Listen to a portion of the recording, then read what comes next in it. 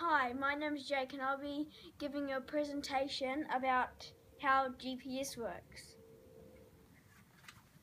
The string represents a radio signal sent down from a satellite up here. And so if we're on the boat in the middle of the ocean and it sends down one satellite, I'm um, sorry, radio wave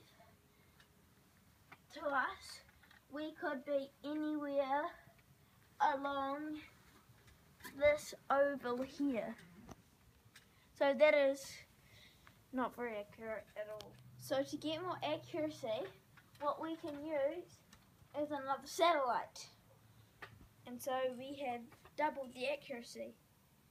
So we will either be here or all the way over here which is still not very accurate because that could be like hundreds of kilometres apart.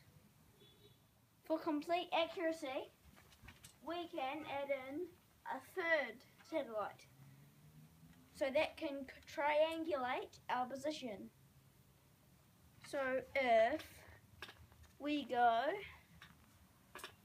um, over here, that's only one, so it could be anywhere if we go over here, that's only one, so it could be anywhere. Oh, if we go over here, that's two, but that is still not triangulated our position. But if we go over here, all three of them are on the same position.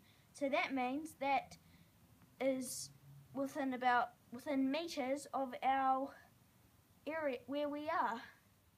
I hope you understand more about GPS and how it uses satellites to find, figure out your location out at sea, on the road, anywhere. Bye!